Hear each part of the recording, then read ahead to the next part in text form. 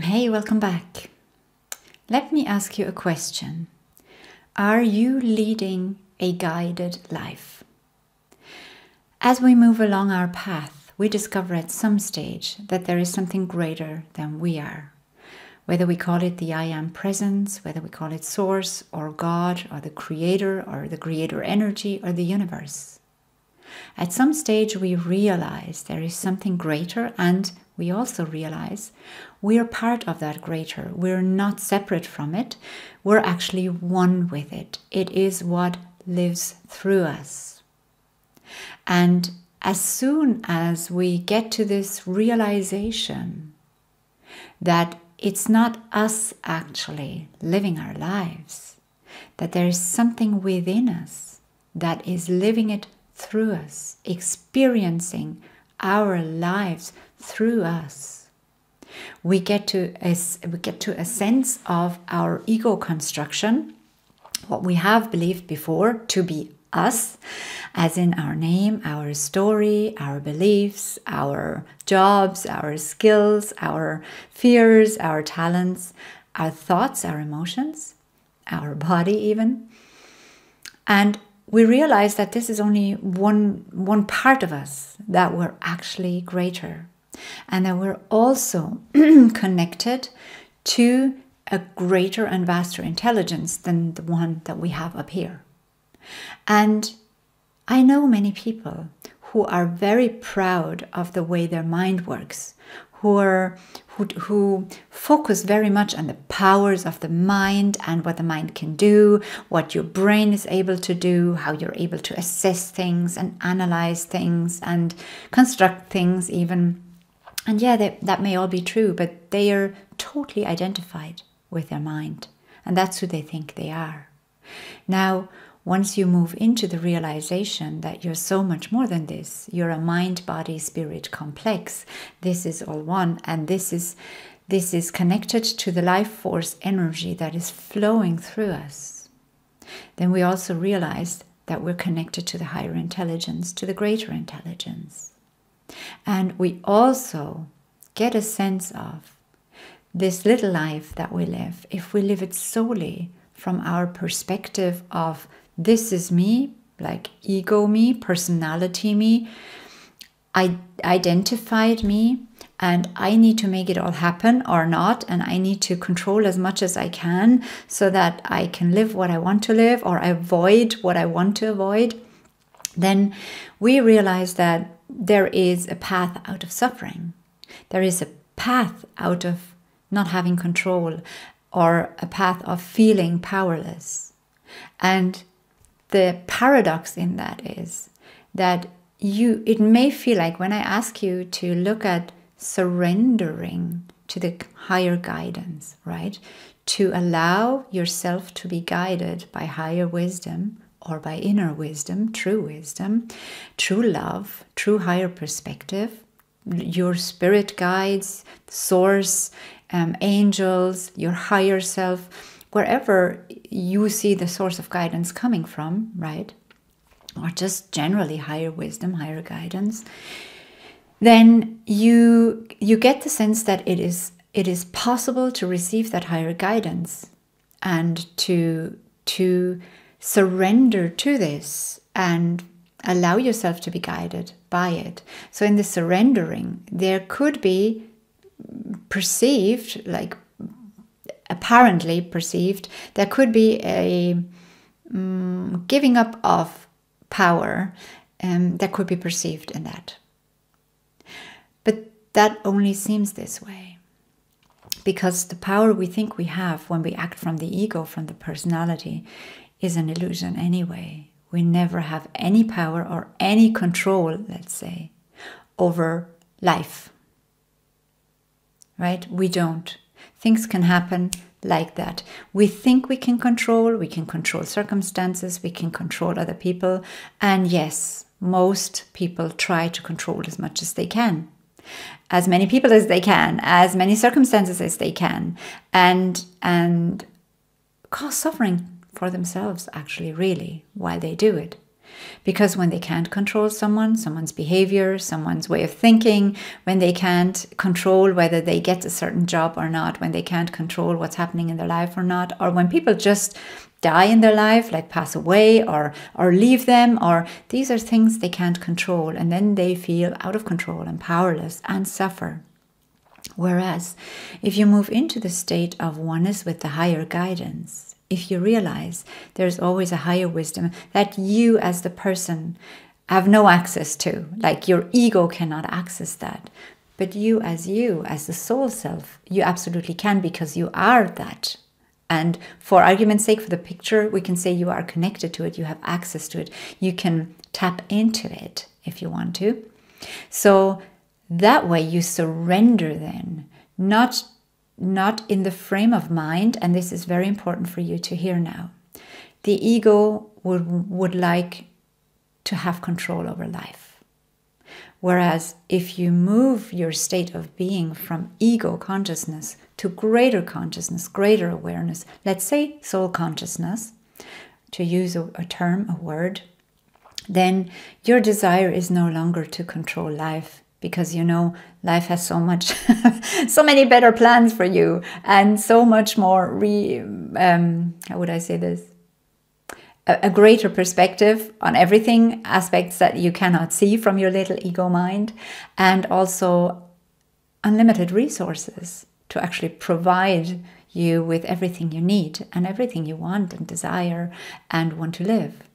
So by shifting from ego consciousness to soul consciousness and then not trying to control life anymore, but actually allowing life to enrich and inform and orchestrate your experiences. Now we're talking. This shift in, let's say for now, concepts, but this shift in consciousness, this shift in awareness state will make like it will change your life. So if up until now you have led a not guided life and have tried to make everything happen and try to solve every problem yourself and and do everything yourself, right? Maybe from the best of your intentions. But that's stress and that's oh, it's so much weight on our shoulders and it doesn't work anyway because in the end there will always be situations in life where we will realize we have no control. And that can be devastating then to the ego minded person, to the ego consciousness human. Whereas once you have allowed, now I'm just going to speak from the frame of mind of the soul based human. Once you have allowed life guidance, higher guidance, to actually dictate or influence or guide your life, then there is no struggle anymore. There is no perception anymore of the evil world out there, or people, or circumstances, and me here, and I need to protect myself. I need to make sure they do this and this and this that way, and not that way, because that will not make me happy, and that's not what I approve of.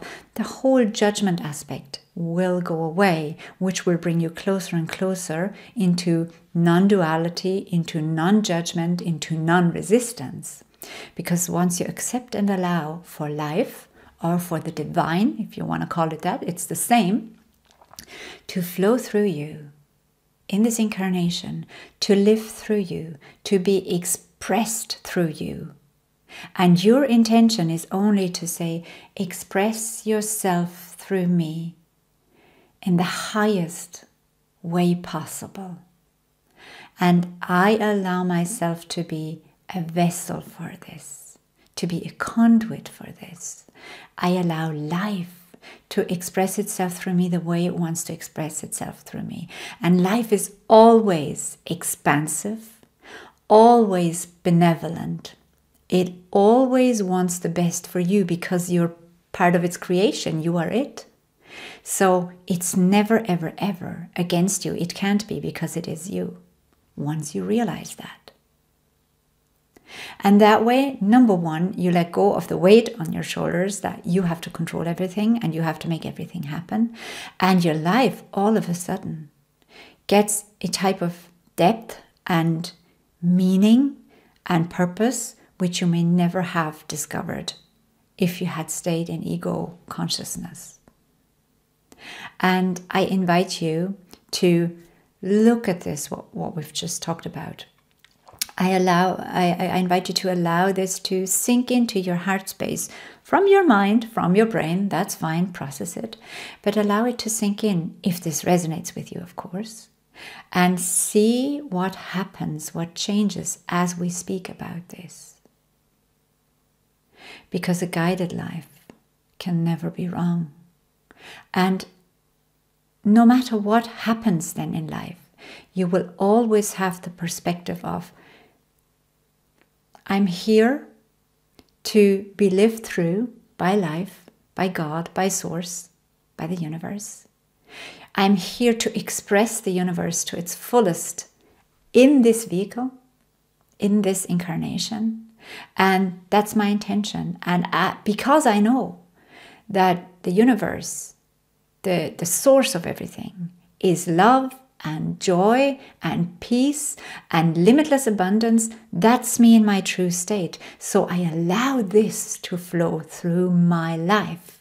I allow this to flow through my inner world into the outer world, into my expression in this life. So then you don't have to try and manifest from the ego points of view, which is usually lack and fear and I want to have this and that and the other because I'm lacking it and I need it and I want it and others have it and so do I. I want this, uh, so I want to create this for me. That's no longer an issue because you know you have access to all the the limitless expressions of life, resources, um, in whatever area of your life, whether it's joy, whether it's finances, whether it's love, whether it's success, whether it's whatever it is you feel called to express in this life. A guided life is lived completely differently than an ego based, mind based life. And so, by allowing life to express through you and taking the guidance from life, taking the guidance from source, from the divine. The ego dissolves because you are surrendering to the higher will. Father, thy will be done. Not mine, not my ego will, but thy will be done. And God's will is always what is best for you, what's the highest always. And yes, there can be challenges and there can be dramas and there can be traumas. Absolutely. There can be. Doesn't have to be because the place where Earth is now, where we're now in our development, in my perception, and I've said this before, suffering is no longer necessary as a means to evolve and to grow.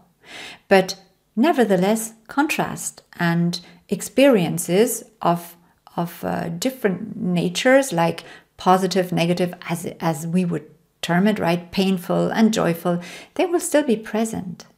But a guided life, a human who is living a guided life will know all of this is part of my guidance.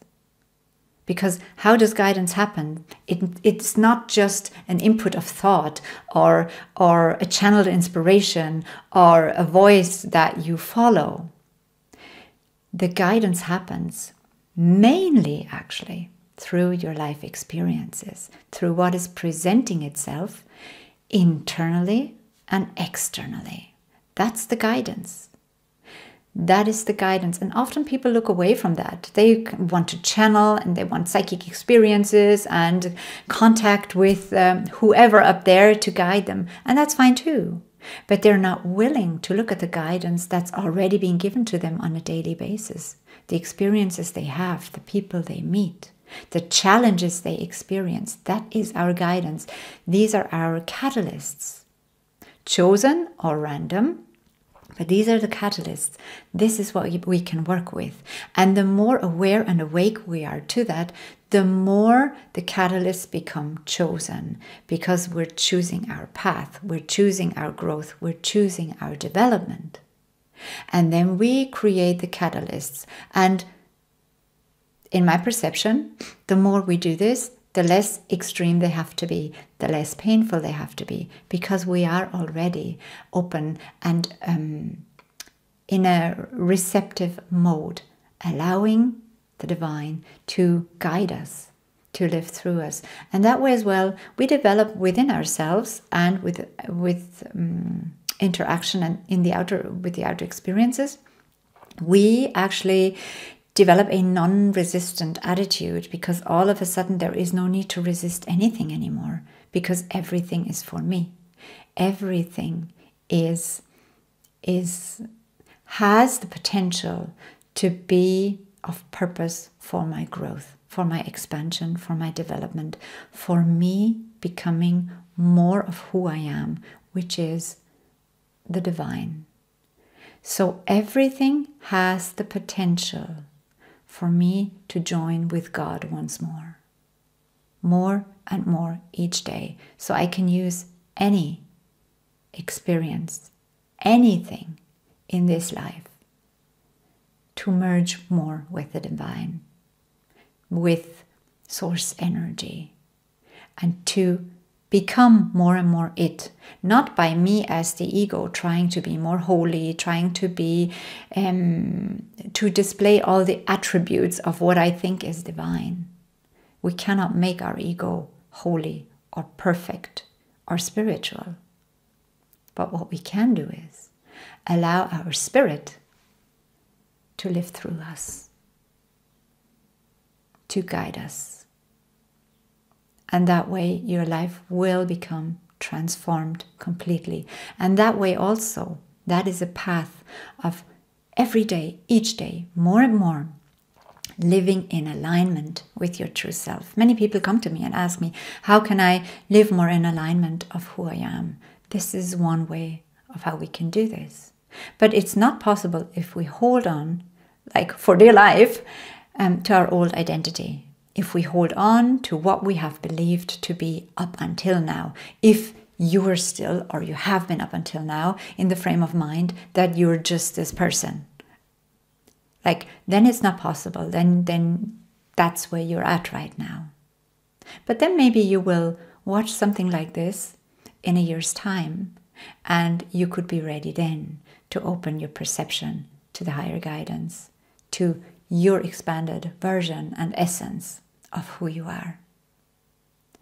So I invite you to, many of you are doing this already, but to focus again with your intention on being the vessel and the conduit for higher power, presence, divinity to express itself through you that will solve your ego issues and that will also allow your life to come into true alignment with your purpose, with your essence, and with the divine will. I'm going to love you and leave you for today, and we'll talk again next time if you want to.